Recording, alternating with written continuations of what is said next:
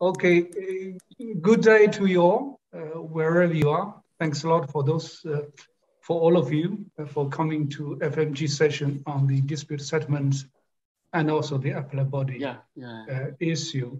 And in particularly for those who are joining us in a totally different time zone.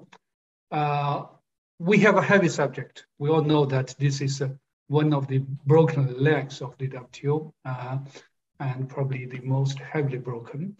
And also we have a heavyweight uh, panel uh, uh, with us today. Gabrielle will introduce to them. So I won't waste any time, but give directly floor to, to Gabrielle and then go into the discussion. Thank you, Gabrielle. Thank you. Thank you, Lu, and hello to everyone. Uh, contrary to the program, um, I will not uh, present the topic for 10 minutes before Alan. I figure that it's better if he goes ahead, and I will instead um, develop a few questions that I will direct to the speakers afterwards. This way, we keep um, interesting time and avoid duplication. So unless you have disagreement with my suggestion, I will ask Alan to start and be mainly forward looking, not focusing only at least on the why things didn't work, but how to make them work in the future. Thank you. Thank you very much. Uh, good to be with you all today. Uh, what I thought I would do is uh, put myself uh, in the position of the unaccustomed position of being a trade negotiator for the European Union. Uh, and uh, my assignment is to uh, restore binding dispute settlement with uh, the United States and do it in a way that could be extended to others. so, what do I do? I'm to negotiate with Katherine Tai or with Maria Pagan the new ambassador at WTO. Um, I have a clear assignment. I have a week or two. Restored binding dispute settlement now that relations are better across the Atlantic than they have been in quite a while. Um, and in fact, dispute settlement was historically accepted by the United States in order to attack the common agricultural policy, but that's deep in the rearview mirror. Uh, right now, we're in uh, we're in much better uh, state of affairs with respect to our relationship. Uh, the Boeing thing, 14 years of uh, litigations behind us. So, what, what are my tools? What do I get to work with? Uh, I can make changes in how the appellate body operates, and suggest those. Uh, another is to work with the institutions. What's the role of the dispute settlement body? It does nothing now other than appoint uh, members of the appellate body uh, on occasion uh, when it's allowed to. Uh, so what, is, what does the DSB do? Uh, should the Secretariat have a role? Uh, so in a real negotiation, I would say, ah, I have to give the United States something outside of this negotiation. Uh, I'll promise not to have any digital taxes. And uh, I'm told by the president of the commission, no, you don't do that. you have to solve this within the framework of the dispute settlement system itself at the WTO. You don't have outside things to, to uh, sweeten the pot. Um, so, what's Katherine Tai care about? Two things workers, worker centric trade policy, and uh, the strategic rivalry across the Pacific. Um, so, uh, how do I make the uh, uh, dispute settlement friendlier to workers? The US Federal Reserve Board has in law since uh, the 1970s that it has two goals. One is to moderate interest rates over long term uh, and uh, also um, have uh, stable prices. The other is equal goal to maintain full employment. So I say, okay, I'm going to put in this agreement that uh, the the uh, dispute settlement system is to be uh, have a view towards uh, uh, uh maintaining full employment generally, and it can be in the country that brings the case, the country that defends the case, but the workers are important, and I hope that that has a, a, selling point for the U.S. administration, and I'm going to also, I'll deal with uh, non-market interventions by a government as well. Um, uh, maybe shifting the burden of proof with respect to government intervention, something or other, to um, help with uh, the strategic uh, uh, competitive positions across the Pacific. Um, I'll, I'll, have the appellate body look more closely at the intent of the parties. Uh, so, what would that mean for, for example, the safeguards area? Um, uh, what do you do with respect to unforeseen circumstances, which is stuck in the throat and uh, actually stuck in the entire esophagus of the um, of the system? Uh, we'll have to work on that. So there can be safeguards. They're going to have to be they're going to have to be trade remedies as well. So I'm not going to just look at plain meaning. I'm going to look at uh, what's the purpose of all of this, and the purpose is to maintain the agreements, including the safeguards agreement. Um, Article 21. Uh, we're going to have to give a substantial amount of leeway to countries to invoke it without becoming obscene about it. So uh, if I were deciding that case, uh, maybe I would say uh, the case being uh, steel and aluminum, I'd say, uh, guys um, in America, yeah, there's a there's a case to be made that you want to have a certain size of steel industry. We can look at that, uh, but you didn't do that. Actually, what you did, in fact, was hit your allies. What sort of a thing is that for Article 21? Uh, so uh, we think about what's to be done with respect to Article 21 uh, to limit it, uh, but not expunge it. Um, so what I put in this paper was a Chinese menu. Um, I'm going to have a Chinese lunch today, actually, meeting some old friends. Uh, and the, the menu is very, very extensive, but you don't order everything. so you pick and choose from among those things and you say, well, here's a that's a list of some ideas which are extreme or crazy.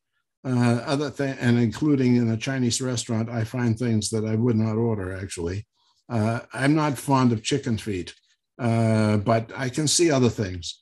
Uh, so, but it's a matter of taste. You pick what you want, and I have not recommended a solution. What I do suggest is that there be a new MPIA. Uh, the EU has uh, forged the way forward, shown the way forward, that uh, now that the US has taken down the appellate body, uh, any two countries, any two members of the WTO, can forge a um, their own MPIA.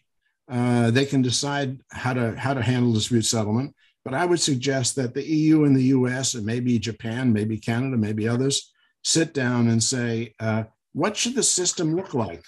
Uh, and we have a free hand because it's the MPIA is anything you want it to be. It's a it's an arbitration. You set the rules, so there's a lot of flexibility. Uh, governance is a political process uh, within an institutional uh, working institutional framework, and uh, that's what we sort of lost. We lost the art of governance at the WTO. We don't have uh, two of the legs of the stool at all there's no executive branch uh, except for monitoring. There's no um, negoti- no legislative branch uh, except rarely. Uh, it shows up trade facilitation agreement. It's very rare uh, in the whole WTO history. Uh, so we try to restore the roles to some degree, if we can, of uh, those two branches, which give, in the U.S. context, checks and balances the way the US Constitution is set up. Um, the bottom line, I think we need binding two stage uh, dispute settlement. Uh, I don't think it's impossible to get there, but it's a, it's a steep hill to climb. We need some rulemaking capability, so we have to stimulate that. Uh, in other words, uh, there has to be some role for the DSB or the general counsel or both. They are the same, actually. Uh, and I know chairs, past chairs of the of the dispute settlement body have left Geneva saying, "I wish I could have done more." Uh, they are very frustrated with the role that they were given. Um, so, three things we need: binding dispute settlement, rulemaking capability, at least in the area of of settling disputes. uh, a functioning executive, and of course, a lot of circuit breakers before you get into a case uh, and spend 14 years throwing things at each other in the US and the UK's of Airbus and uh, Boeing. Uh, you have mandatory intervention by the Director General. Um, you do a number of things that uh, restore consultations to their the role that they were intended uh, to be. Uh, that um, uh, you're supposed to really, this is a dispute settlement system, and it actually became a litigation system, which is a different thing, a different animal. Uh, and you need the litigation aspect, but not as a first um, uh, option. So there you have it. That's my, my introduction. You have the paper. Uh, the fine print has uh, most of the ideas, some of which you won't want to order off a Chinese menu, uh, and some of which you might say, well, I, I could, I'd like that. So there you have it. Look forward to our discussion. Thank you, Alan. Um, well, wonderful. And may I love the annexes and your list of uh, what you call the Chinese menu. Allow me, as um, I suggested, a few questions to, to you, but mainly to the first the um, speakers. So, um, is it necessary to uh, make reference or keep going back to the Walker, Walker process and whatever was agreed there? Uh, you raised, Alan, uh, the difficulty of the fact that EU, US were not, were talking past to each other how has this changed and how to deal with that in the future? Yes, you talked about the new MPIA, which I especially like. I think there should be many MPIAs, a bit like uh, RTAs. It's a second best, if not a third best, but it maintains rules and it could lead to harmonize MPIAs. What about a new standard of review or a recognition that the standard of review developed in the two hormones cases, very good, cited even by the ICJ in the Whales case, using this standard of review for trade remedies? What about mandatory good offices in some type of disputes like uh, trade remedies?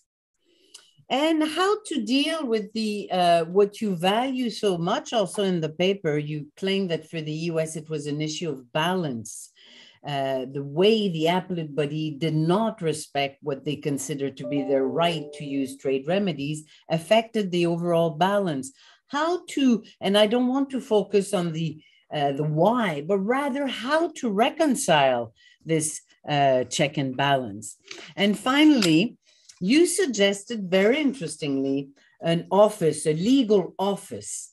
And to me, it's not clear how distinct this would be from the job that at the moment the DG's lawyers do. At the moment, it's Miguel, it was Yves Renouf, uh, the legal affairs, rules division, appellate body. Would it be like um, uh, advocate general office like the Europeans have? Or is it um, not clear. And I would encourage all speakers, and I'll stop here, even if, like Alan, I don't respect all my time. I think it's better if we all discuss. I would uh, ask all speakers, starting with Peter, to please respect the seven minutes and try to answer uh, some of my questions. And I will end with one difficult questions. Alan highlighted the problems raised by the US in their view with some substantive appellate body ruling, such as public body enforcing development, zeroing. We've heard about that. How to deal with these issues that are important for US and, and some others in practical terms. So thank you. Can I go immediately to Peter? Thank you, Gabrielle. Um, I'll uh, have a hard time to stick to the seven minutes. Uh, I thought actually we, I had nine, but okay, you say seven. Um, let me try. Um, Alan's working paper um, is a very welcome and much needed uh, thought piece on how one could possibly overcome the current crisis. Uh, uh, this paper builds on many of the ideas uh, expressed publicly on private uh, by scholars and officials a number of whom are participating in this brainstorming session.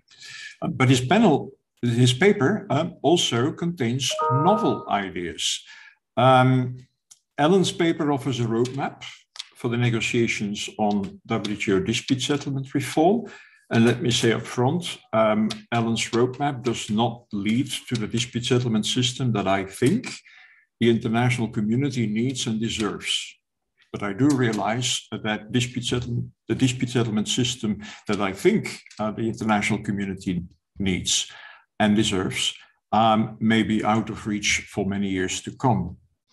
Um, let me perhaps first highlight six uh, points um, of agreement with uh, Alan. First, um, I agree with Alan um, that the WTO and its members need a binding dispute settlement system and that there is a very good reason for this system to provide for a appellate review. Two, I agree that the mere restoration of the appellate body and uh, appellate review as it has functioned for the past 25 years, um, and in my opinion functioned very well, that that mere restoration is not an option.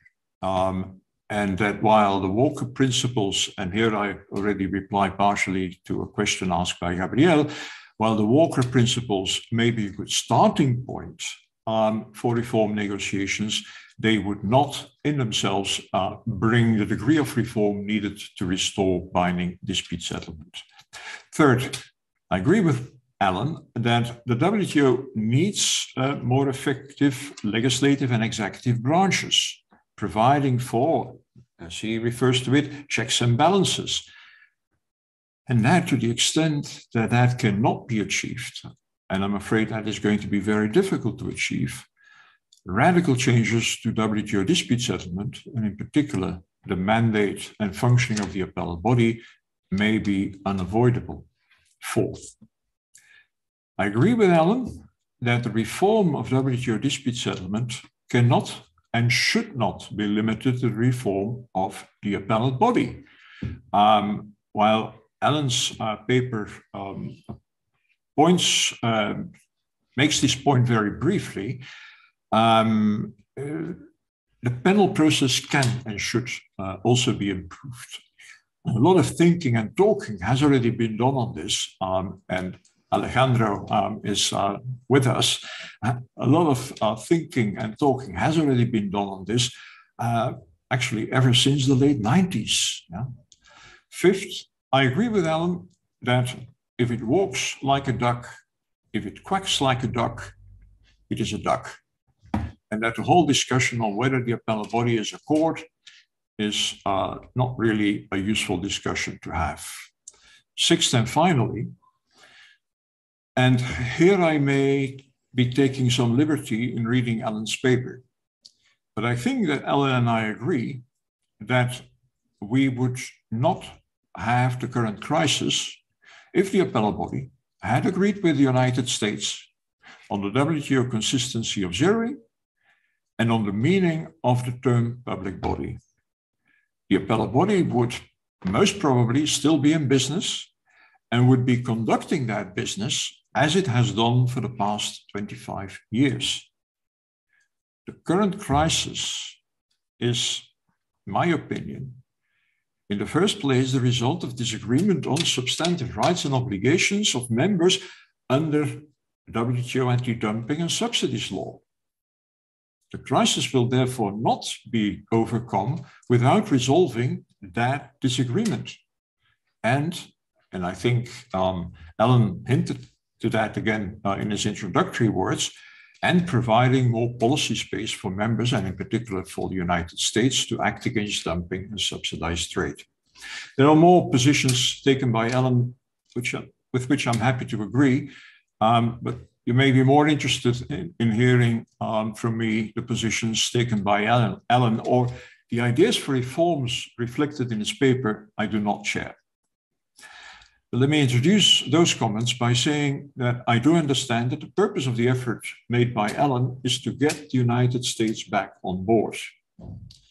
Unfortunately, fortunately, at least in my opinion, uh, the United States, as far as we know, wants a dispute settlement system that narrowly focuses on the resolution of the specific dispute between parties and objects to a dispute settlement system that, in the process of resolving a specific dispute, clarifies WTO law to the benefit of all members. I limit myself to uh, four brief comments um, um, of disagreement, um, and my comments focus on ideas contained in Table 1 of Alan's paper, um, in which he sets out a list of elements uh, for dispute settlement reform negotiations. I do appreciate that Alan does not necessarily support all these ideas. He has just listed them. But first, the uncompromising insistence on 90, 120, 180 day time frame for appellate review is unfortunate. Yeah. And the idea is to ensure that the appellate review is conducted within these timeframes, such as page limits and reducing the number of Article 11 DSU claims, are unlikely to work. Second, the increasing number of increasing the number of uh, appellate body members to 25 will indeed allow for greater geographical and gender diversity and may speed up appellate review. But it will effectively kill the possibility of an exchange of views among all WTO members, uh, sorry, among all appellate body members, a feature that WTO appellate review, um, a feature of uh, WTO appellate review that has been most effective in ensuring the consistency of the case law. Third, the proposal to create an Office of Legal Counsel within the WTO Secretariat the proposal to establish a dispute settlement review committee and the proposal to allow the DSB to constitute, uh, and I quote, special political uh, expert group. These proposals leave me baffled uh, and raise 101 questions. Uh, to be short on this, it is not clear to me why one would have more confidence in the legal assessment of this office, this committee, or this expert group than one has in the legal assessment of uh, an appellate body when the latter is carefully constituted? Or is it that some WTO members think that they could and would have more control over this office, committee, or expert group? And then finally, a very good argument can be made for a more differential standard of appellate review. And my colleague here at the WTI, uh, uh, Thomas Cottier, has made that argument. Um, but I very much doubt that negotiating history can be a primary source for interpretation of WTO law. Whose negotiating history are we talking about? There is no officially agreed negotiating history of the Uruguay Round agreements. And uh, with these brief comments, I am happy to conclude my initial statement. Thank you, Peter. Um, I think I won't comment on you. We'll go straight to, um, I think, uh, Mario Matus, who was uh, who has an extensive experience of all sorts of things. He was very, very, very important in WIPO as DDG here as a sort of a very experienced negotiators, but me, I know him as a panelist at all sorts of levels, at all sorts of procedures.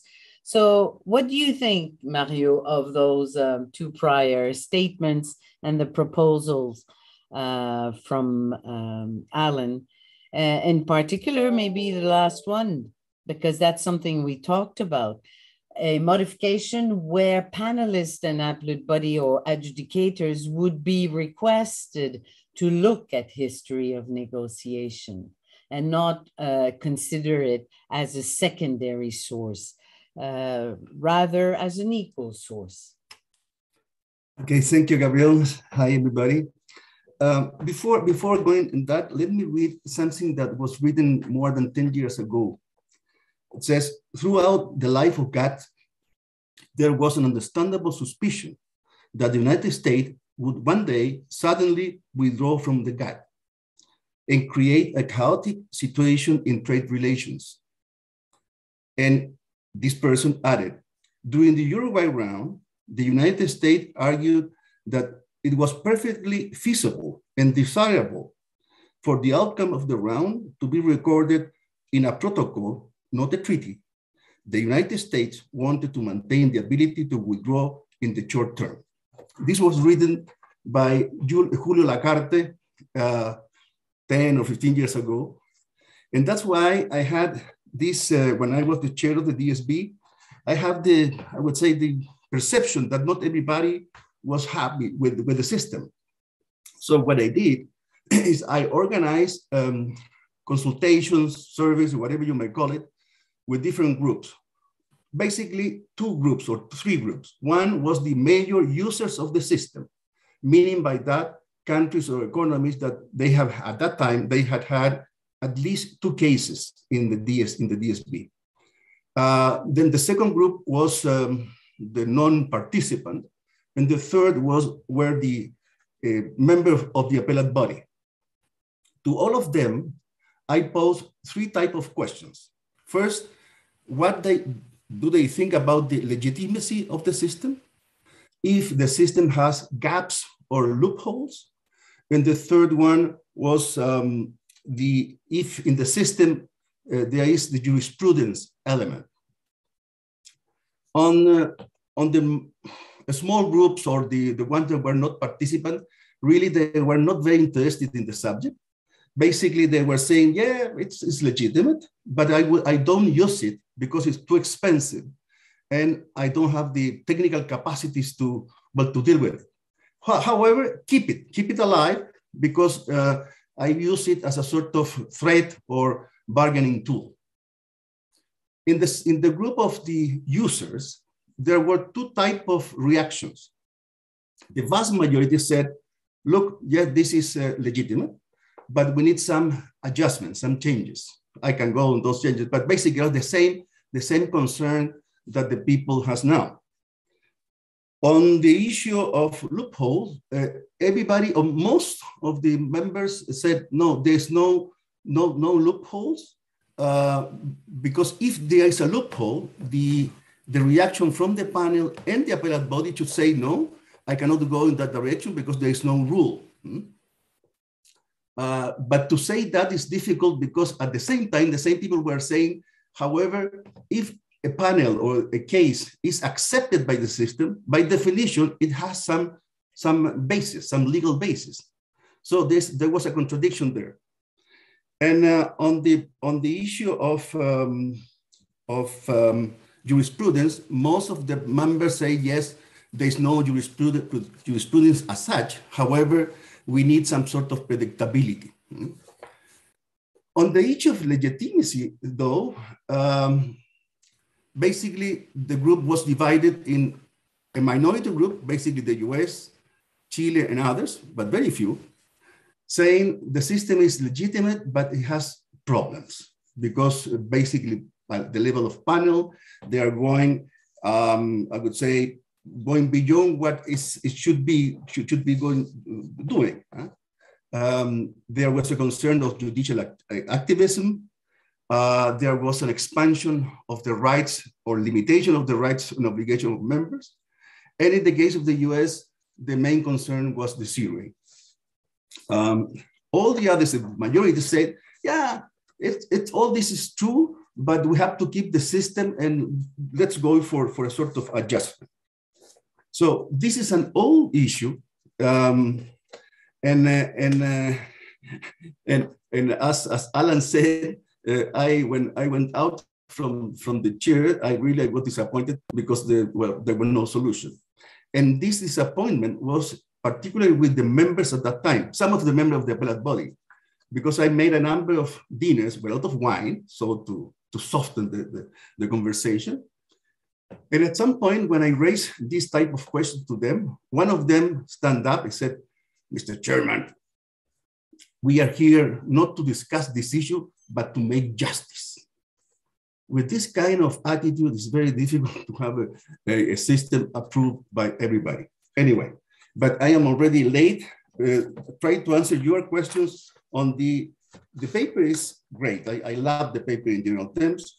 On the M, or the NMPIA, is very difficult uh, acronym to pronounce. Yeah, I do agree. We have to go in that direction. And if there is an agreement from members that this could be done, but we know that in WTO nothing is easy, and therefore, even for the non-participant members, it's very difficult for them to agree. And probably they're going to use the excuse of the money, the financial element of this of this new NPIA. Um, on the issue of the legal, special legal office for, for the council, um, I think it's something that we have to explore because at, the, at this very moment, the system, uh, in any case, at least at the panel level, we have usually the participation of three divisions of, of, of, of uh, the WTO. One is the legal or, or the rules, plus the, the specific or the specialized divisions. And this creates some sort of, not problems, but, but it's not logic. The logic will be to have one single body to deal with every, everything.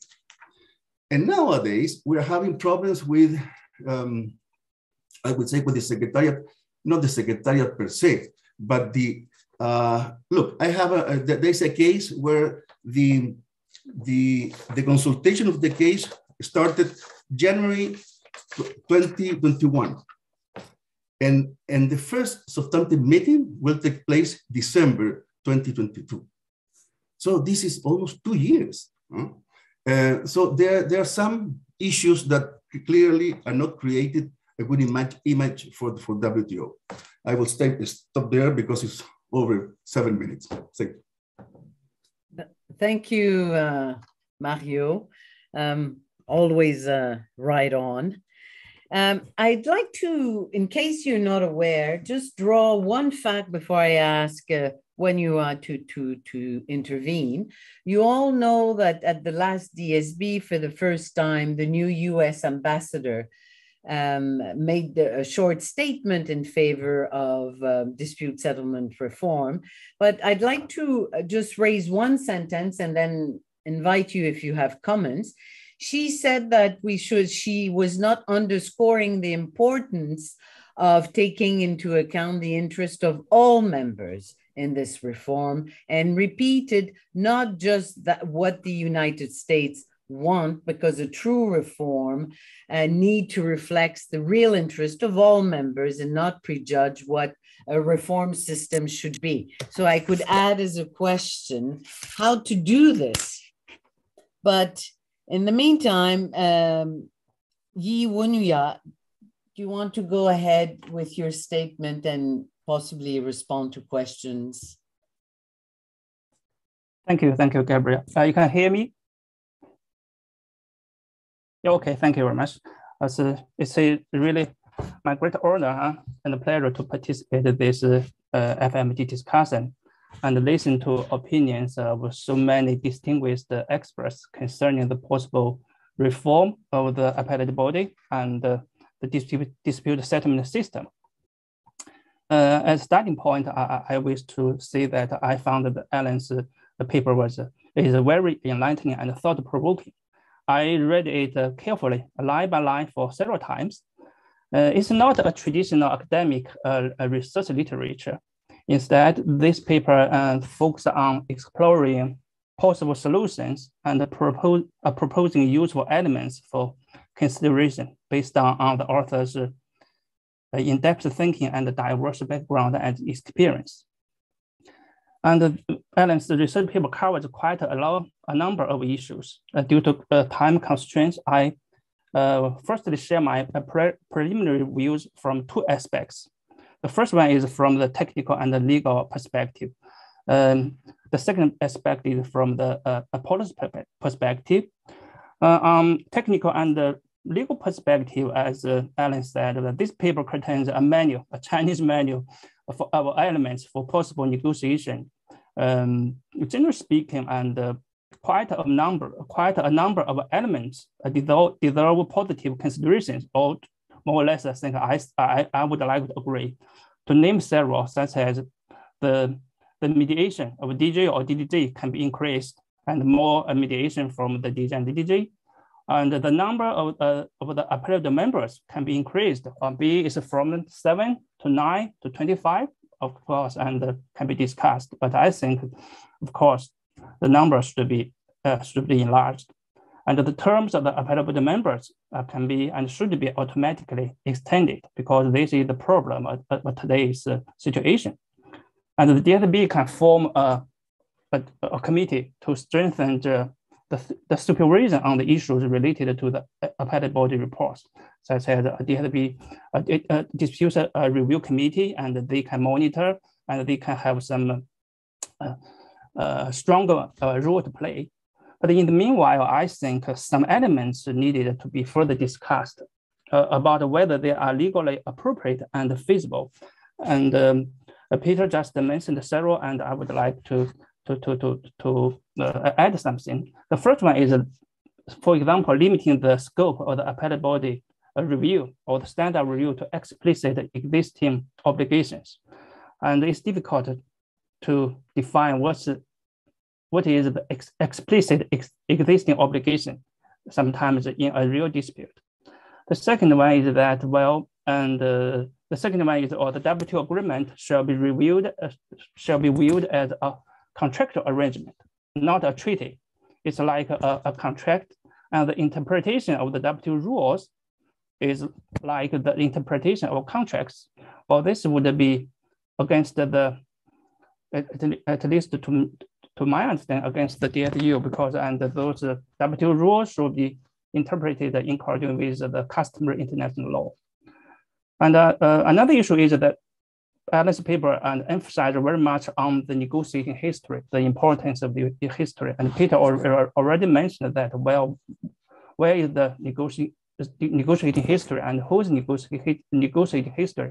I would add one point that, that if we in the future put more emphasis on the negotiating history, this may in inadvertently put more pressure on the future WTO negotiations because when during the negotiations, members would like to try to clear every words, and there will be more and more and footnotes because they want everybody want to make sure that their intention or their their, their, their design are clearly stated in the DF, in the in the WTO agreements, which will further and delay the process of negotiation.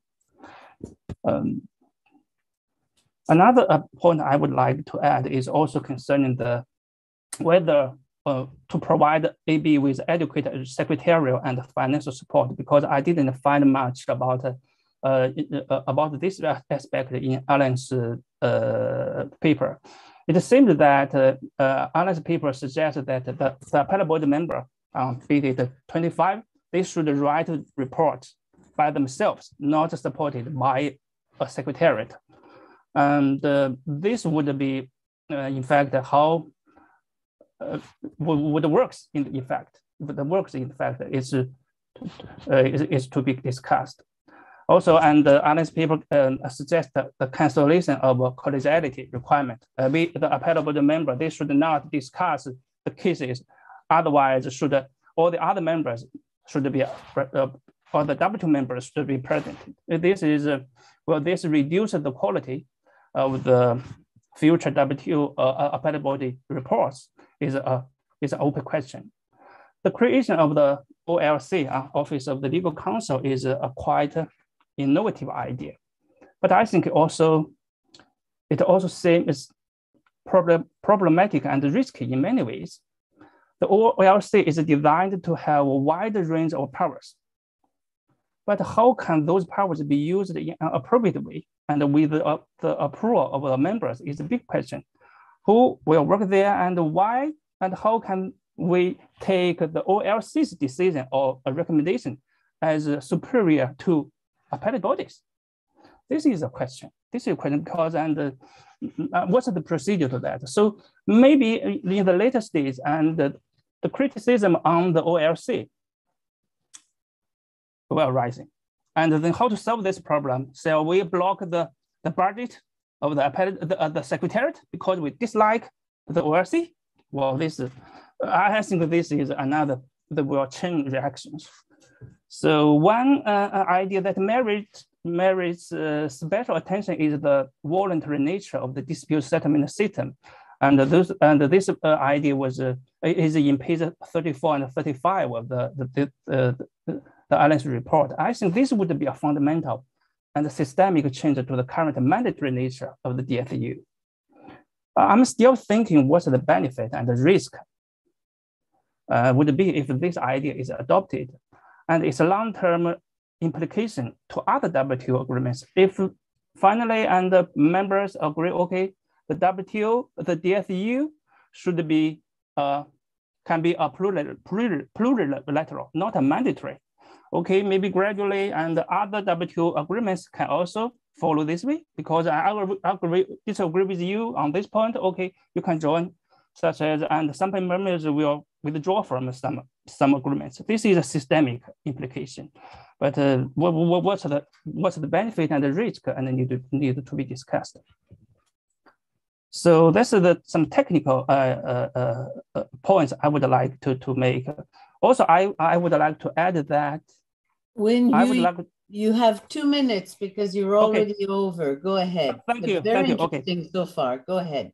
Okay, thank you. Uh, I also think I will go directly to the policy uh, perspective. And um, uh, uh, Alan was uh, quite frank in his uh, in his report that okay, and he, he, he mentioned several times and why the U.S.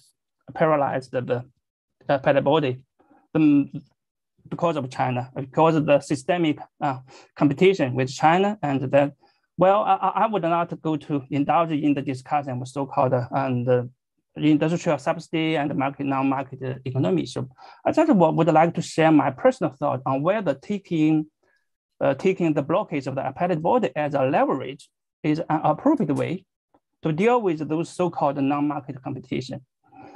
Um, from my perspective, I think those consideration or the argument of the previous and the current U.S. government are misleading and not well-founded, or not, not well uh, grounded. The first one is that the U.S. dis dissatisfaction with the appellate body on overreaching has been in existence long before the emergence of the several Chinese-related cases, and even before China's accession to the WTO.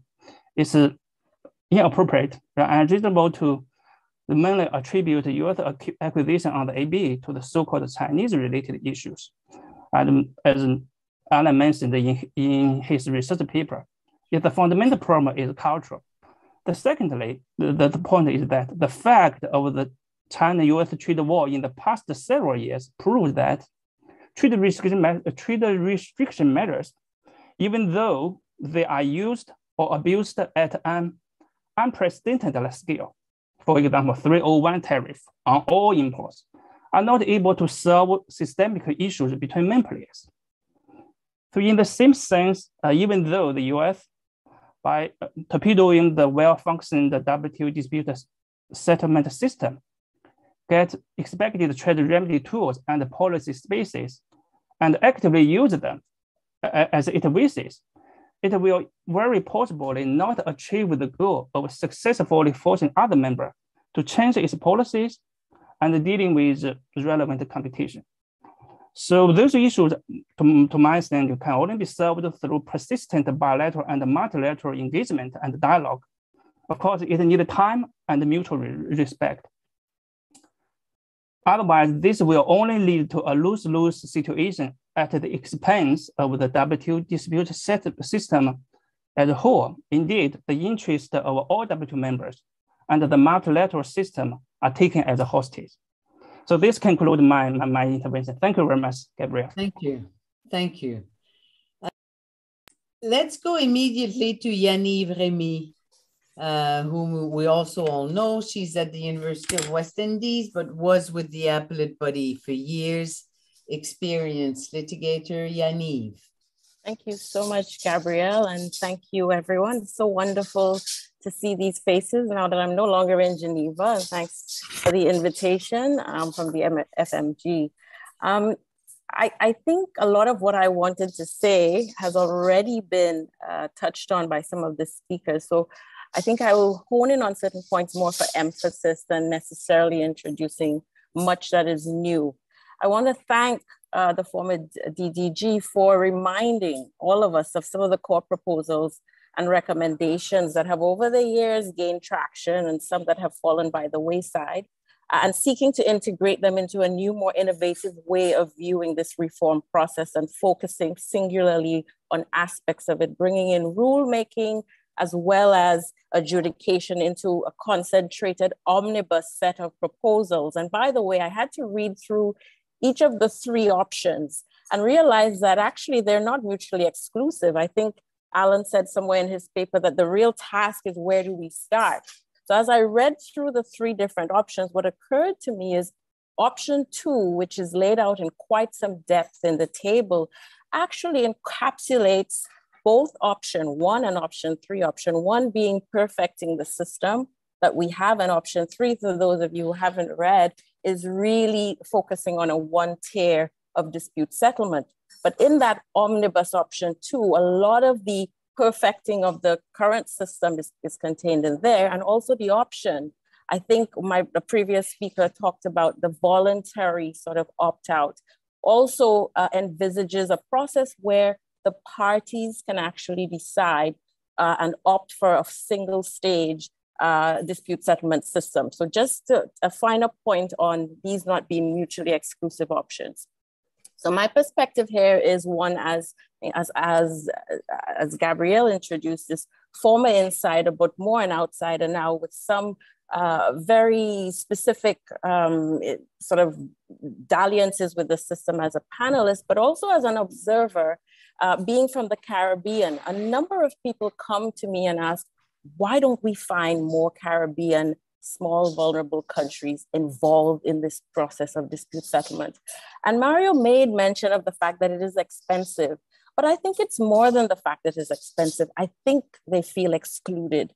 I think they feel excluded because the way a lot of the proposals, and this one perhaps included, are framed is as these two large economies or three or four large economies will gain solutions and then everything will trickle down to everyone else.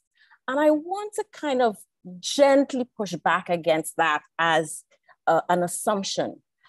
I think that thinking about creative solutions necessitates that we look more broadly at the solution makers and thinking more creatively and engaging the system more holistically, thinking of all of the parts of it may make strange bedfellows. I think small countries want a system that's more inclusive, want a system that is more a la carte, want a system like the United States that doesn't necessarily entail going to an MPIA. If you look at the MPIA option, which is a wonderful option for frequent users of the system, it doesn't contain many of the things that still bedevil small state participation. And I say small states I use that term very loosely because if, if you just look at the number of users of the system, the frequent users are no more than 15.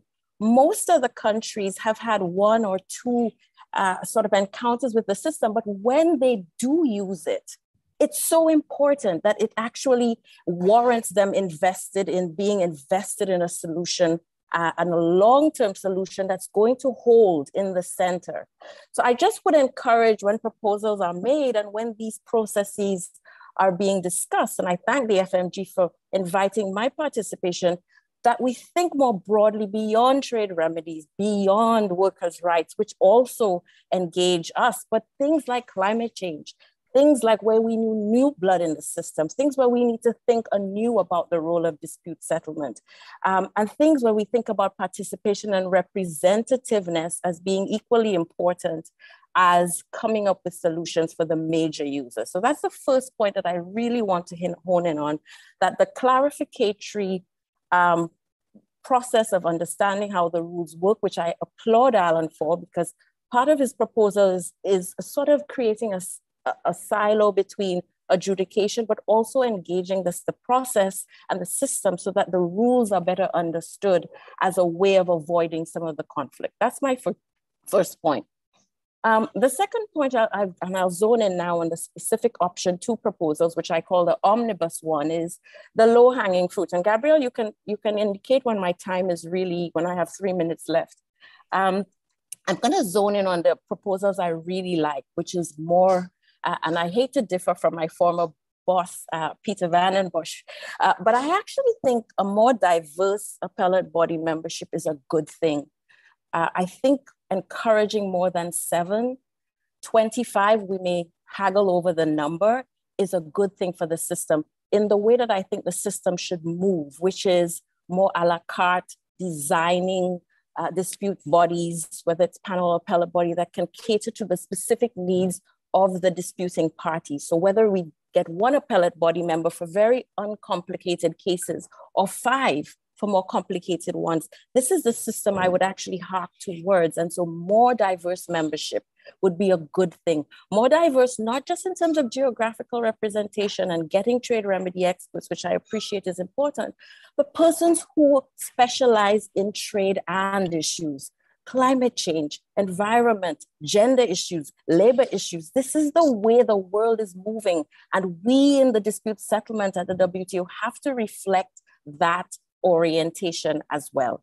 I don't think enough was made, Alan, of the process for appointing appellate body members. I think we should move to a system that is less secretive and more open, why not have a process that is like the US, where we have open hearings and we can hear what their positions are? Because I think the secret to a lot of it is understanding the perspectives of the people we put to decide the cases instead of waiting at the end when we don't like the decisions and then blaming the members who actually have been chosen. The skill set, as I said, I don't think it's just lawyers and trade negotiators. I, I think it's more than lawyers and trade negotiators. I think we need good judges. I think we need to have people who understand how to make decisions. Um, I know, Gabrielle, I'm out of time. I have a lot more to say, but I'm just going to zone in now on uh, the what I don't think should be ever opted out of. And I think Ji Wenhua, Yao said it, which is I don't think there should ever be an option for dispute settlement not to be compulsory. I think where the stricture should come is how we adapt the specific uh, panel and appellate body for the specific case. And I think I agree entirely that the provision immediately for no appealing into the void needs to be an urgent action. And finally, on the OLC, one of the issues that I have with the OLC is I don't know how it's going to coexist with the Secretariat.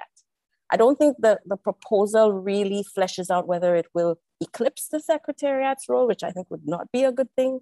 I think it, it talks about huge, not just advocate general powers like the ECJ, but commission powers.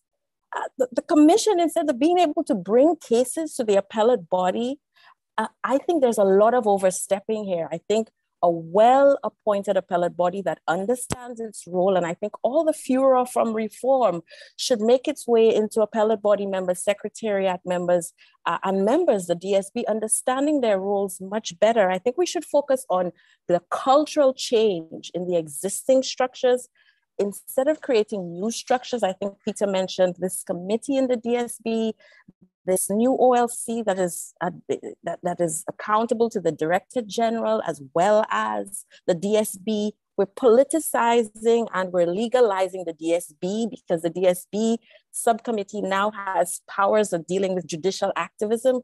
And then the OLC now has powers to make direct recommendations to the DSB. I think we have to give some more thought to how we keep these quite watertight, but make them more effective in how they're doing their roles. I'll stop here uh, and I, I would like the opportunity to come back on some of the points I made, but thank you for the opportunity. Thank you very much. I suggest that before we go to the floor, uh, we ask Alan if he has any sort of comments.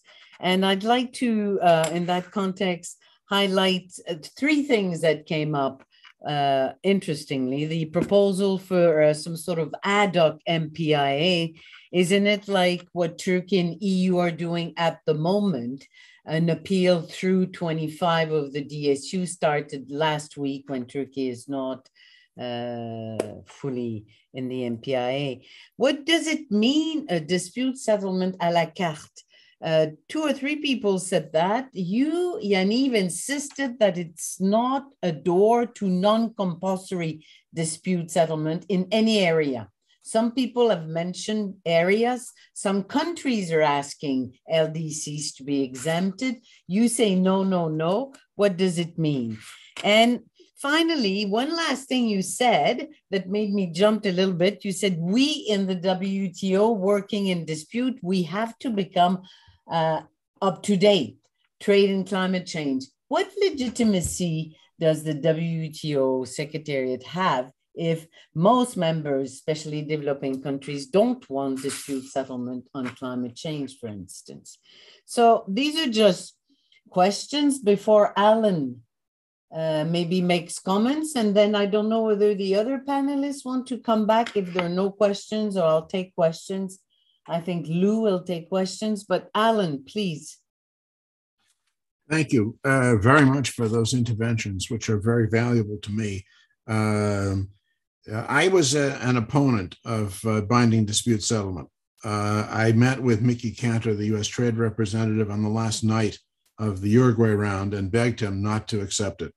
Uh, I was wrong, I think, uh, but that's that's the history.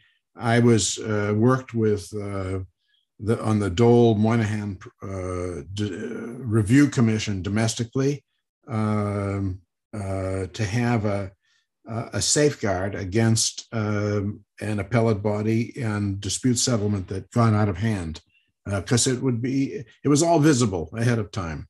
Um, the uh, uh, there's a difficulty of how an, a judiciary remains um, within bounds. I mean, that's one of the major challenge.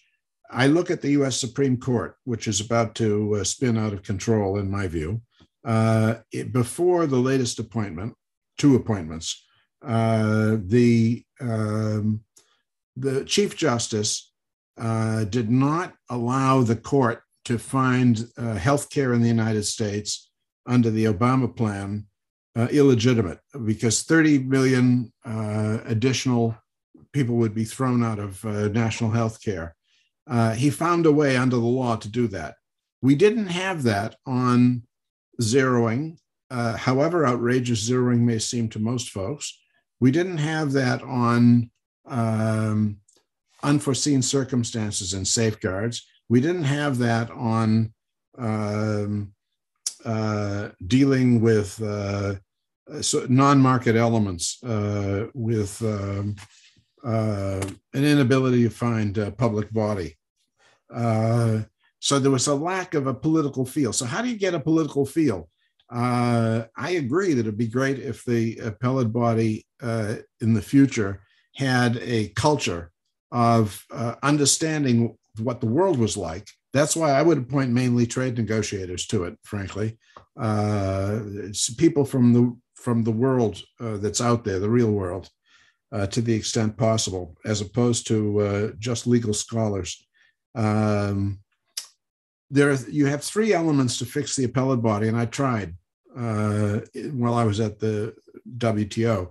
Uh, one is get different people in uh, and I tried that with the U.S. government, and it failed entirely. They wouldn't wouldn't do it. They say people are untrustworthy. They didn't like their own appointments, appointees. Um, so uh, you change the instruction. They said language. We had language. Look at uh, the anti-dumping code. Uh, it had good language, and you can argue about whether the language was good enough, or there was other language that could be looked at. They said exactly what uh, Jean-Yves just said uh, culture, change the culture. I don't know how to do that. Therefore, I went to uh, checks and balances uh, and instructions uh, and structure. And uh, by the way, um, Jim Bacchus came over for a dinner a couple of years ago to the WTO, and he was passionate that everything was okay. Uh, there had never been a wrong move by the appellate body, and uh, a an ambassador from the Caribbean sitting at the end of the table said, "Thank you very much. This has been a very interesting discussion. It has nothing to do with us, nothing whatsoever." Uh, you know, it's it's uh, between you and the uh, and uh, you Americans and the EU. So um, anyway, I, um, uh, I, I would like those who have uh, spoken and will speak send me written comments. Uh, this is all going to go into a textbook which appears, uh, you know, maybe nine months from now or a year from now. Um, and uh, I'd like to have it as as thoughtful as possible before it gets locked up by Cambridge University Press. So absolutely, please send me any thoughts you have to improve this it's not exactly a buffet. It's uh, because it's too expensive, too extensive. Uh, but um, I, I look forward to further comments from others. Thank you.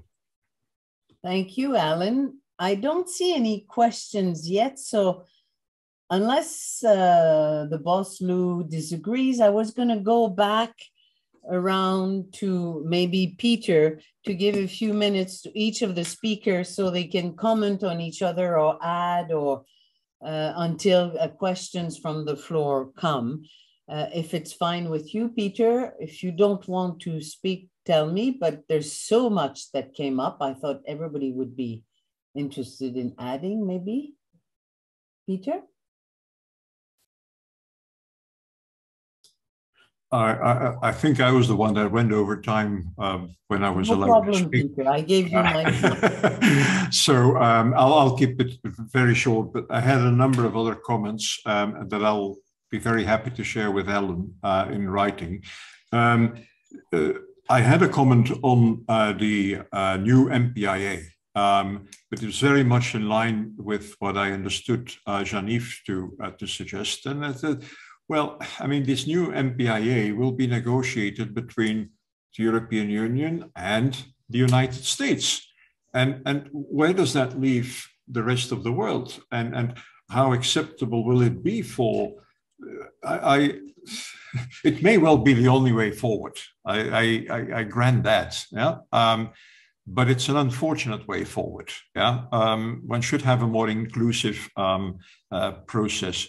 Um, uh, Jan Yves, don't misunderstand me. When I when I go against the 25 members, it's not because I don't want to see more diversity in all respects. Yeah, it's because I think it will kill a it will kill the exchange of views, and you're very well placed to know huh, how important that exchange of view has been. Yeah? Absolutely, absolutely. Um, and but I see that there is a first question, so I perhaps I'll. Yeah, that's all right. Yeah, well, um, you know, you say an MPIA would be EU and, and US. What about an MPIA between Canada and Jamaica and uh, China and US? It doesn't uh, have to have under under Article under Article 25. That's always a possibility, and, and as we, as we all know, the European Union and Turkey huh, have made their own sort of MPIA. Um, one of them is not case is definitely not coming. The other is, is not clear. But um, no, by all means, yeah. Um, better than no This is a different. This is a different effort. This is really an effort. The first step. Uh, this new MPIA is a first step uh, towards um, the start of a negotiation on the DSU. Okay. I, I think, and that I think should from the beginning be more inclusive, but uh, maybe unrealistic. Thank you. I see that Mario uh, has raised uh, his hand, but Stuart has, I think. Oh. If you allow me, Mario, I'll pass it to you. And after, um, yeah, so Stuart? Thank you very much indeed, uh, Gabrielle, and big thanks to, to Alan and all of the panelists for a, a really fascinating and enlightening discussion. Um, we don't have much time, so I, will just raise my point straight away, which was but I wondered if, if uh, Alan and indeed any of the other panelists could say a little bit more about this idea of, of, of checks and balances in the WTO's constitution, because um, it's, a, it's, an, it's, it's something that's been raised for a long time. And I remember uh, Alan mentioned Jim Bacchus. Jim was always talking about the constitutional imbalance in the WTO. My question is really, you know, is there any evidence that the, the founders of the WTO set out to create a balanced constitution? Um, and is a balanced constitution desirable? And if uh, a balanced constitution is desirable, then it seems to me there's two ways of doing that. You know, one is to um, dial up the legislative and executive branches, if you want to call them branches, which maybe we don't, but for shorthand, uh, as some have suggested, make the legislative and executive functions more effective. Uh, but that's a big ask because you need a consensus to be able to do that. And I'm not sure that we can achieve that quickly. So the, the second way, frankly, is to dial down the legislative function to achieve that balance. And I think that's kind of what Alan is suggesting. Uh, I may have got him wrong, but he goes in in his uh, second scenario to a lot of detail. So I, I just like uh, comments on that because it's something I'm not uh, too clear about. Thank you. Mario, thank you, Stuart. Mario and then Wenhua both, I think, have questions for Alan before I pass. Well, I, I was about to mention something similar to Stuart, but let me, uh, so I, I, I, I, trust on his uh, questions and, and, and concerns and the question to Alan. Now, one single question for Peter. Peter mentioned uh, that you don't like uh, to go for the history of negotiations uh, to interpret the rules of WTO, which is, um, to my mind, exactly the opposite. What would you do? Is to go further on the history of negotiations because at the end of the day, those rules reflect the, the level of agreement or, or non-agreement among members. And therefore, if there was a solution for the sake of, of finish uh, an argument or, or to just to have a, a rule, but in many cases, those rules uh, don't solve the issue or are um, empty. Uh, there's no political will behind the rule. So, and, and to my mind, both uh, panels and, and, and members, the, the availability should to take into account the reality, the political reality of the issue, which was basically mentioned by Stuart. Uh, at the end of the day, this is a system, is a big progress for civilization. But at the end of the day, these all these rules, international rules, should reflect at, at, up to some point the real the power, the reality of power.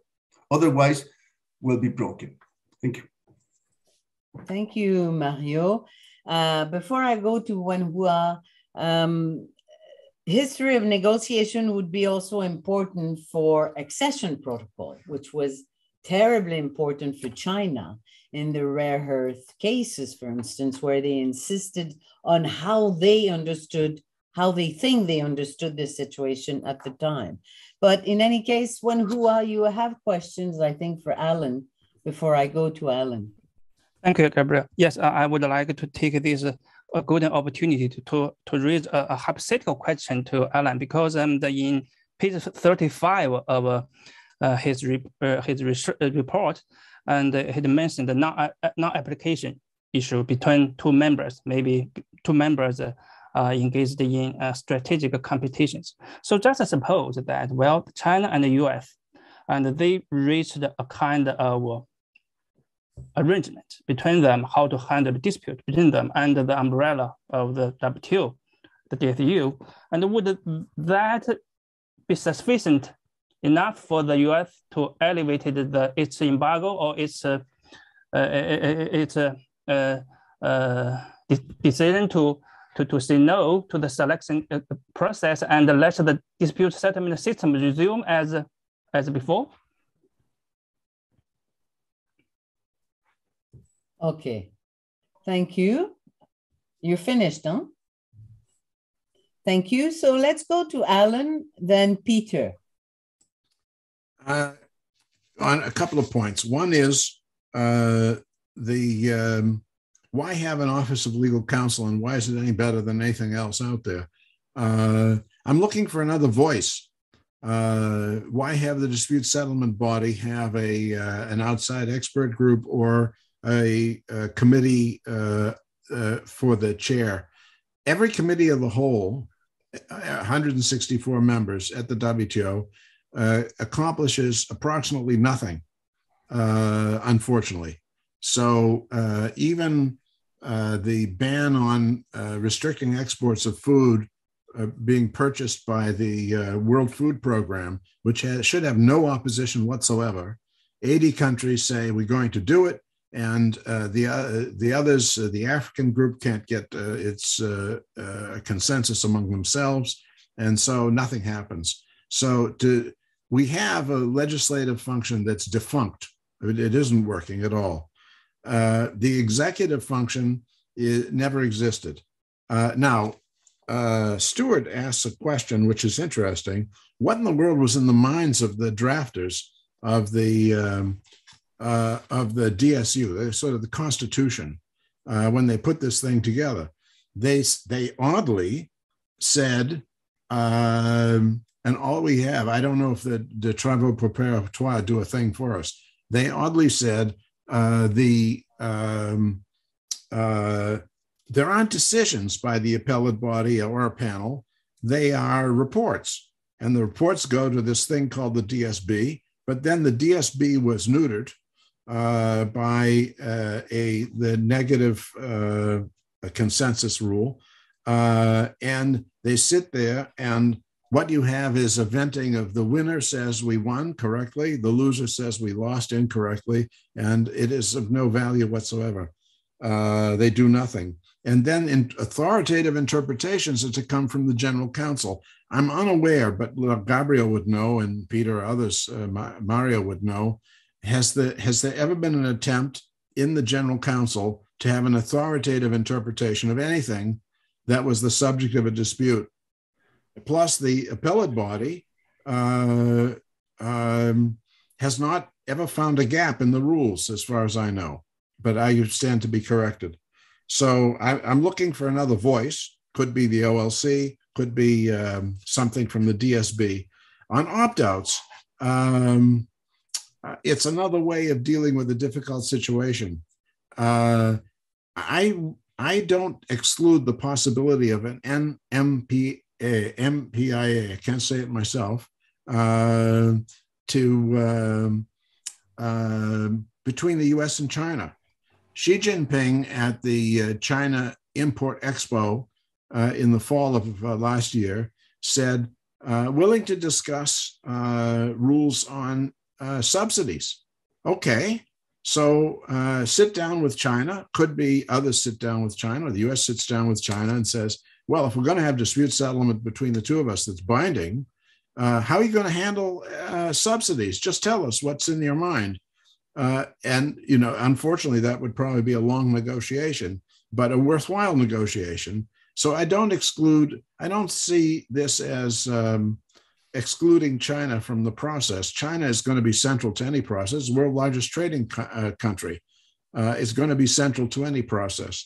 Um, the um, uh, and those who have pointed out uh, the Peter got it exactly right in terms of what I was saying is that if you don't do anything in terms of checks and balances, then you have to do more to the appellate body.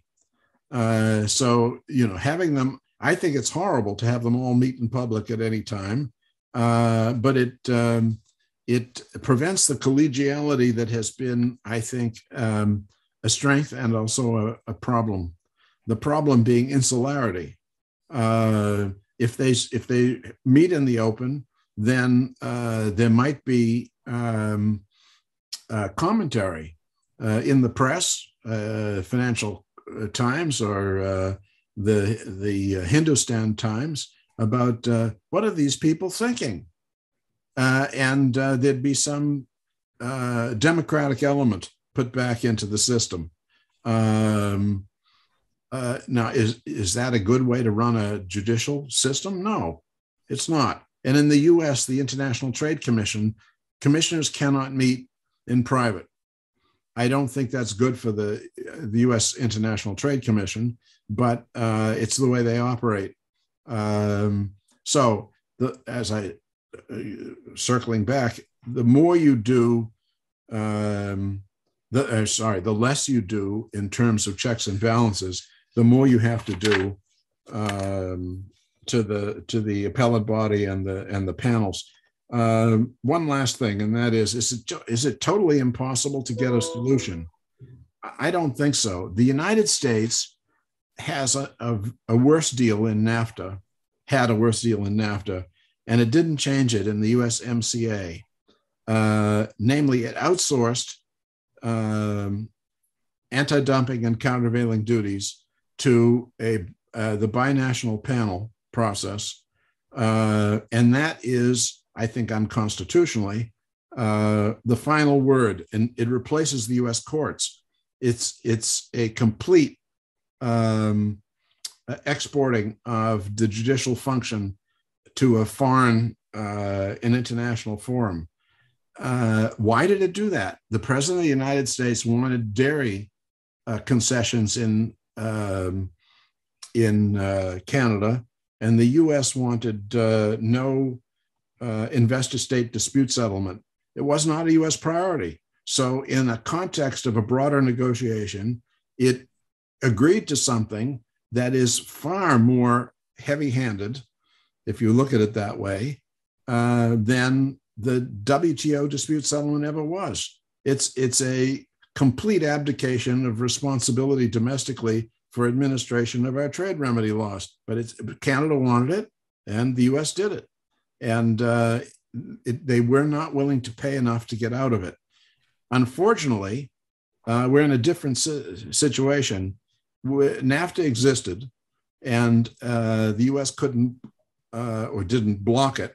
Um, and um, uh, the appellate body doesn't exist. So it's you start from zero and you have to build back up, is, is my view. Anyway, these comments from others have been phenomenally uh, and exceptionally useful, and I, I really do urge them to uh, uh, give me uh, more detailed comments. Thank, Thank you. you. Thank you, Alan. Before I go to Peter and then Jan Yves, two small facts. China was invited to the US invitation two weeks and a half ago to start work on a two stage dispute settlement system. So, no way that China is excluded. And yes, Alan, um, a general council attempt by EU to have an interpretative decision took place in 99 i think in the context of banana for sequencing and they even alluded to voting. And a few minutes after India raised, uh, I remember its flag and said, Are we going to vote now on other things, including intellectual property? And EU withdrew. So, uh, Peter, comment. Uh, thank you. Um, in response to uh, Mario's uh, question, comment, um, I hope that we all agree that the task of panels and the appellate body um, is to decide disputes on the basis of the law. Um, and that political reality and the reality of power um, is something for the legislative branch uh, of the organization to take into account, and possibly um, uh, for the dispute settlement body uh, to take into account, uh, but not for the adjudicators. Um, now, um, of course, the problem with the legislative branch is, is the institutional imbalance uh, to which uh, the lack of check, checks and balances uh, that has already been referred to. Now, um, to the extent um, that we have to decide on the basis of the law, uh, of course, the problem comes comes up, what does the law mean? Huh? So you in, have to interpret the law. And there I, I agree with what I think is a statement that you made, that interpretation is, is trying to get, uh, to get to know the common intention huh, of the parties that negotiated the agreement. Um, but that common intention has to be reflected in the text. So you have to be able to get it from the text. And negotiating history, people still have to, to, to convince me uh, whose negotiating history are you really looking at? Yeah? Um, um, this is now on the issue of gaps, yeah, and the fact that um, the appellate body has um, never pronounced a non-liquet. Yeah? Uh, there's no law. Well, I mean, many of you are experienced panelists um, or have uh, worked for panels or the appellate body. I don't remember any case in which both parties said there is no law on this issue. We're inviting you to make law, there is no law. Huh? Um, at least one of the parties thought that um, the, the, the, the, rules as we with, with which we work um, supported its case. Now, um, so for the appellate body then to say what they can say is no complainant or respondent if it, if it concerns an exception. Uh, um, the law does not support you. The law does not say what you say, and perhaps because it's it's not there. But you do you do always rule in these cases. The, the, the non-liquet is not a magic solution that oh, every time that one of the parties says there is no law, um, that you can move on quickly and say Okay. Uh, now, so I, I, think that um, gaps. Did the appellate body ever found, find gaps in, in, in the law? He didn't pronounce itself in those terms, but he did very frequently find that the complainant, or if it concerned an exception invoked, uh, the respondent didn't make out its case, did not have the law uh, that does exist in its support. So um, Mario, that's a very long answer to uh, what was a pointed question. Yen, thank you, Peter. Jan Yves? Thank you, Gabrielle. I'll be short.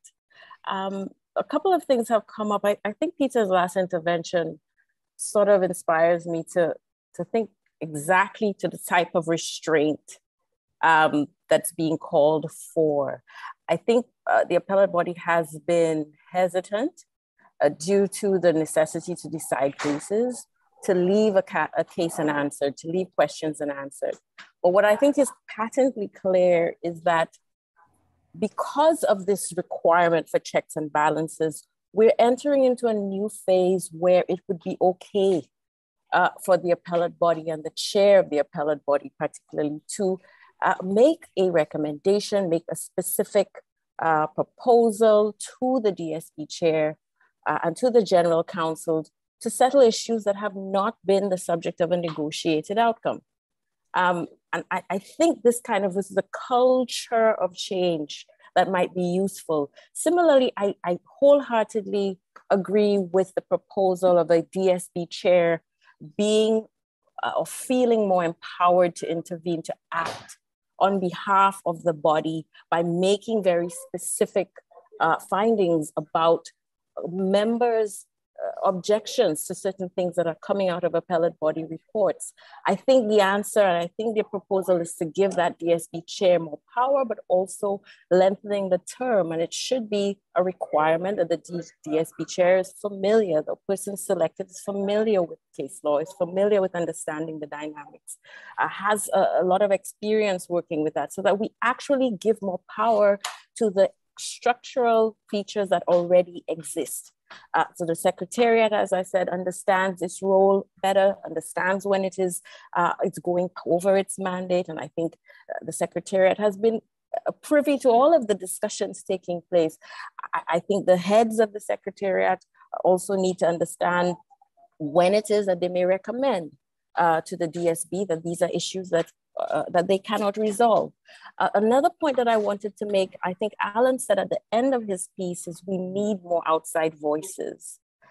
My suggestion, therefore, is not to create new structures, so create the OLC, create the DSB committee, which where you're trying to find these new voices, but actually go to the experts outside of the system um, I've made a suggestion or proposal coming out of a, uh, a speech that the, the Prime Minister Mottley of Barbados gave a couple of months ago, where we need to rely more on our experts outside of the system.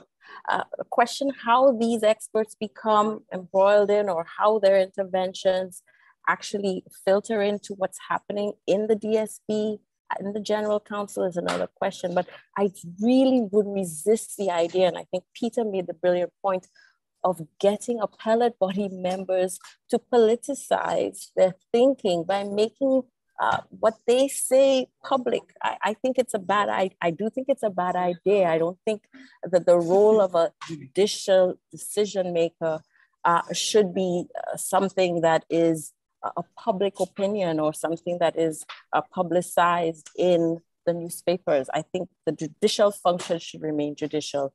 Uh, the point about negotiating history, I agree with Peter entirely. Uh, and the point also that I wanted to, to, to leave with is uh, in your suggestion, Alan, no, I want to get to one point, which was your comment about what the, the, the Caribbean ambassador said, um, which is, yes, let the US and the EU sort out the issue. I hazard to say that that was not to say that he doesn't want to, the Caribbean to get involved.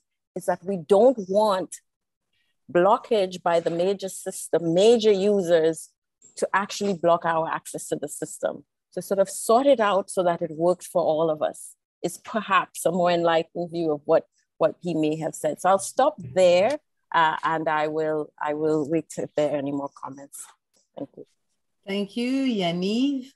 I don't see any uh, other questions unless I missed something and we have three minutes. Um, let me raise two, three points. You mentioned, Jan Yves, outside expert, outside expert, which is good, but how to sell this to the members who still resist amicus curiae? I mean, what's the difference? Also, um, another point that I think is important um, an example is when the Appellate Body invented the complete the analysis. This was wise. This was good faith for uh, the party that may miss uh, a claim that was not addressed. However, it is challenged, of course, because it was not in the treaty, like the Rule 15. And I, I take uh, one of your uh, point that was also Alan about more transparency and make transparent things that are uh, the practice uh, at the moment. And my view, I think you all know it, I always repeat and start saying the appellate body uh, was a miracle. We may not have appreciated its value in let it go. Uh, and there's a need to um, put something back in place, although I believe it cannot be the same thing. I'm I have nothing to add more, but I will let Alan complete, um, close the, the discussion, uh, say goodbye to everyone. I hope Lu won't cut the line, but I think we still have three, a few minutes. So Alan, please, if you have comments on what was said or um, new proposals um, on what was said.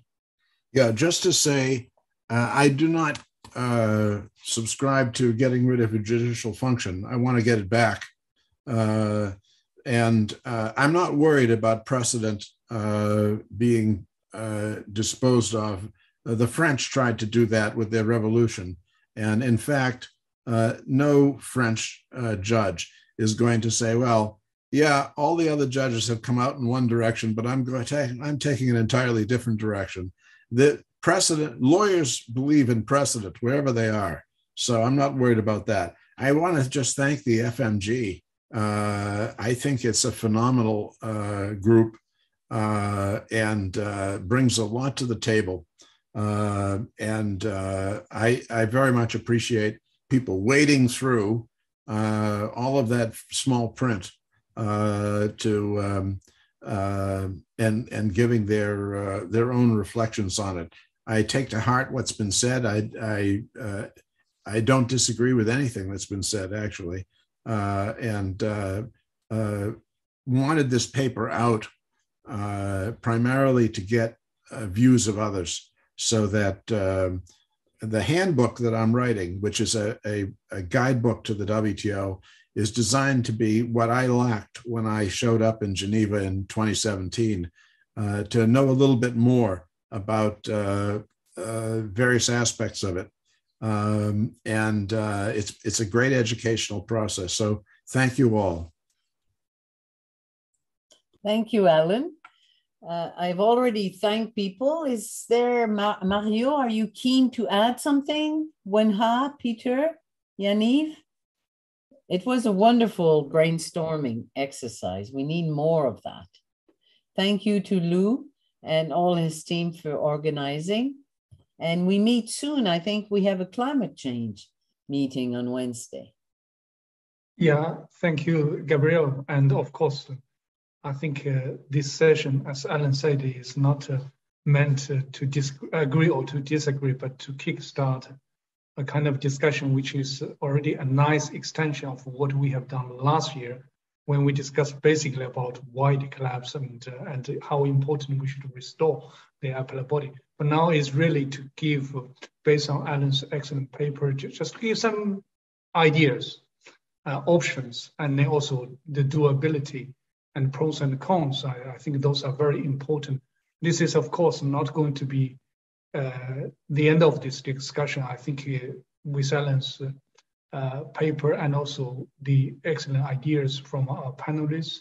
I think we have much more to think about, to digest, and hopefully maybe later this year we should uh, have more ideas, more papers come in, and then we could start discuss again. And of course, uh, thanks to you, Marceau, for your able moderation, as always. Uh, on Wednesday, we're going to have another one uh, on climate change and the CBAM and WTO reform. And then later, uh, end of this month, we're going to have another session uh, on food security in times of crisis.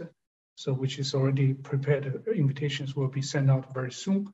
Uh, and after that, probably uh, depending on what WTO may deal, do with is MC12 in mid of June. So probably we won't uh, organize too many things before that. And also FMG has quite some internal administrative work to do before summer break. So if nothing beyond end of June, uh, end of May, and probably we will see each other after summer break. Uh, but uh, we will keep you posted. Thanks to you all again, uh, and uh, for staying with us, and thanks to all the contributions. See you next time. Bye. Thank you. Thank you. Bye. Bye. Bye. Thank you, everyone.